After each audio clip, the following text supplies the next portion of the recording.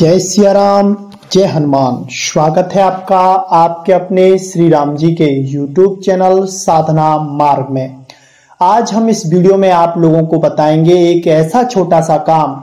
अगर ये छोटा सा काम आप कर लेते हैं तो आपके जीवन में चमत्कार होना शुरू हो जाएगा। ऐसी ऐसी घटनाएँ आपके जीवन में घटित होंगी, जो आपको आश्चर्यचकित करेंगी और आपको परमात्मा की शक्तियों का एहसास कराएँगे, आपको परमात्मा की दिव्य कृपा का एहसास कराएँगे, आपको प्रभु श्री राम जी की शक्ति सामर्थ और उनसे जुड़ने का एक अवसर देंगे। ये सब कुछ आपको प्राप्त हो जाएगा। ये सारी चीज़ें भगवान देने को तो सबको दे सकते हैं, लेकिन इन चीज़ों के लिए एक विशेष जगह, एक विशेष व्यक्ति और विशेष स्थान की आवश्यकता होती है।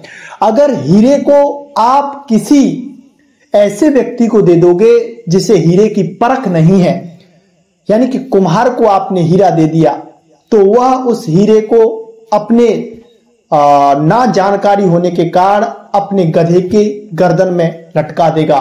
लेकिन वही हीरा अगर किसी जोहारी के पास चला जाएगा तो वह उस हीरे का अमूल्य कीमत उसकी प्राप्त करेगा और वह अपने जीवन को भी बदल लेगा।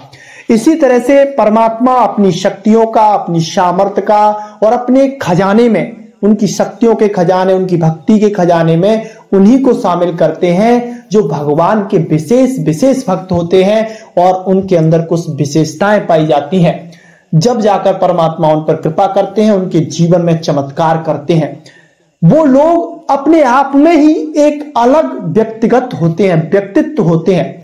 उनके हृदय में कभी किसी के लिए कपट नहीं हो सकता है। उनके हृदय में कभी किसी के लिए गलत विचार नहीं आ सकते हैं। उनके अंदर सबके लिए समान भाव आते हैं और सबका मंगल हो, ऐसे विचार उनके अंदर जागृत होते हैं।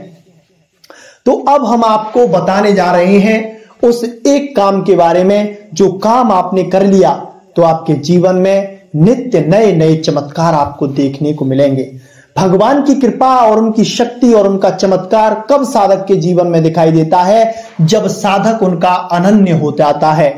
यानी कि सब कुछ वह प्रभु को समर्पित कर देता है। चाहे वो शंकर भगवान को अपना इष्ट मानता हो, चाहे वो राम जी को अपना इष्ट मानता हो, चाहे वो माता दुर्गा को अपना इष्ट मानता हो, या किसी भी देवता को वो अपना इष्ट मानता हो, उनके लिए वो अपना सर्वस्व नौछावर कर देता है। हर चीज़ में हर वस्तु में, हर जगह वह अपने इष्ट का दर्शन करता है और हर व्यक्ति में अपने इष्ट को देखता है।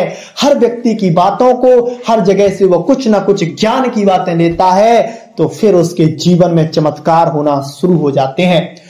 उसके अंदर एक निरंतरता आती, आ जाती है। साधना की, पूजा की नियमित रूप से वह पूजा पाठ करता है, साधना करता है, भगवान को मनाने की कोशिश करता है, भगवान से रोता है बिलकता है, प्रभु से बार बार प्रार्थना करता है कि प्रभु, आप मुझे अधम नीच पर कृपा कीजिए। आप तो करुणावत्सल हैं, आप तो करुणा निधान हैं। आप चाहें तो कुछ भी हो सकता है मेरे जीवन में।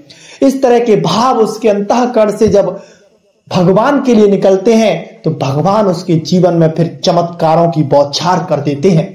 उसके जीवन में ऐसे ऐसे कार्य ऐसी ऐसी घटना होती है, जो आम जनमानस की समझ से बाहर हो जाती हैं, परे हो जाती हैं, जिसे आम जनमानस चमत्कार का रूप समझ लेते हैं, चमत्कार समझ लेते हैं। लेकिन उस साधक के लिए वो चमत्कार नहीं होता। बस प्रभु का लाड़ होता है, प्रभु का दुलार होता है, प्रभु का प्यार होता है और प्रभु की कृपा होती है।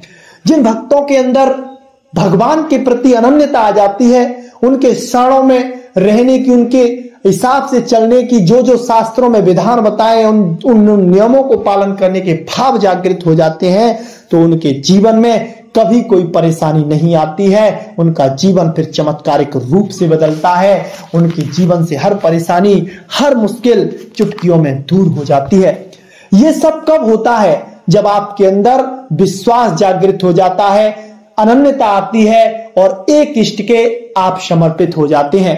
चाहे वो आपके इष्ट कोई भी हो सकते हैं और आपकी साधना में, पूजा में, जाप में निरंतरता आती है तो फिर आप पर भगवान की निरंतर कृपा बरसती है और निरंतर आपके जीवन में नित्य नवीन नवीन चमत्कार होने लगते हैं।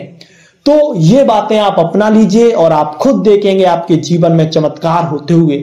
हमने अनुभव किए हैं, आपको भी बता रहे हैं आप भी करेंगे तो आपको भी अनुभव ज़रूर होंगे। क्योंकि हमारे YouTube चैनल पर आपको जो जानकारियाँ मिलेंगी वह सबसे हटकर मिलेंगी। हम किसी किताब से किसी आ, व्यक्ति की बातों को सुनकर या फिर कहीं ऐसी जगहों से अपने ज्ञान को आप लोगों से साझा नहीं करते हैं, जो कि पहले आपको दिया जा चुका है। हम अपने आत्म अनुभव से, हमने जो अनुभव किया है, हमारे जीवन में जो घटनाएँ घटित हुई हैं, उन चीज़ों को आप लोगों से शेयर करते हैं और उन चीज़ों को आप प्यार देते हैं और हमें इसी से बहुत खुशी मिलती है। श्री राम जी तो कृपा कर ही रहे हैं और करते रहेंगे। उनका नाम ही कृपा करने का एक आधार है। तो आज के लिए बस इतना ही। मिलते हैं आपसे बहुत जल्दी एक ऐसी नई जानकारी के साथ। तब तक के लिए जय सिया राम, जय हनुमान।